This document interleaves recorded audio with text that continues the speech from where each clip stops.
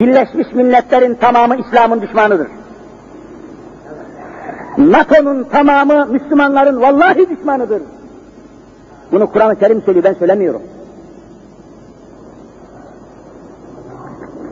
Ya eyyühellezine amenu la tettehizu aduvi ve aduvveküm. Bak aduvveküm düşmanlarınız diyor Cenab-ı Hak.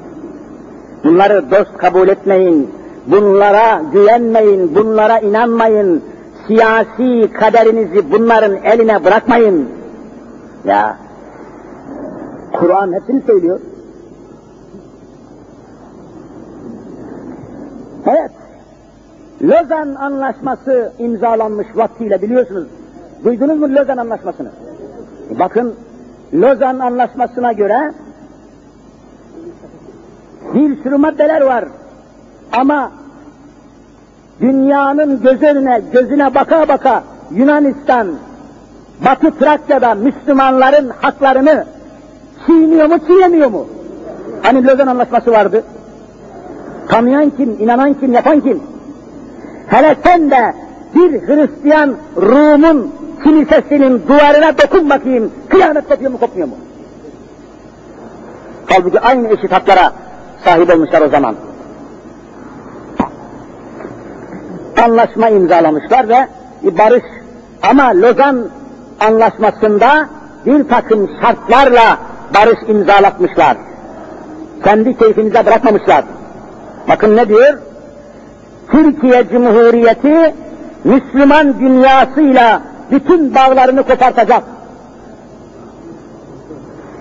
Türk dünyasıyla ebediyen ilgilenmeyecek.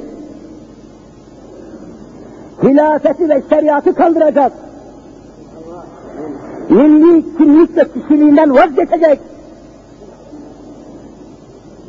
Eğer bu şartları bozmaya ve değiştirmeye kalkarsa Hristiyan dünyası Türkiye'ye kullanacak. İşte şimdi başladı. Şimdi başladı.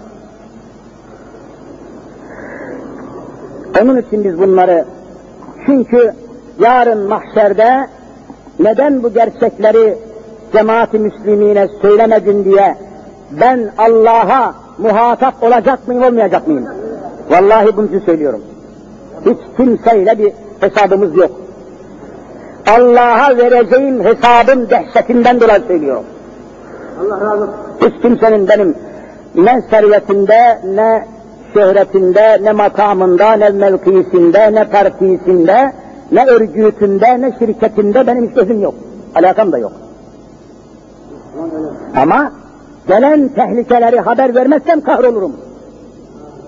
Allah'ın azabında mahvolurum. Müslüman olmanın şartı budur. وَلَا تِلْكُوا بِاَيْد۪يكُمْ اِلَى tehlike. Ayet mi değil mi?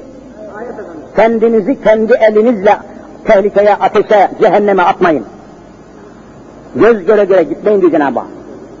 Cihadı terk etmeyin. İslam'ı haşa arka plana atmayın.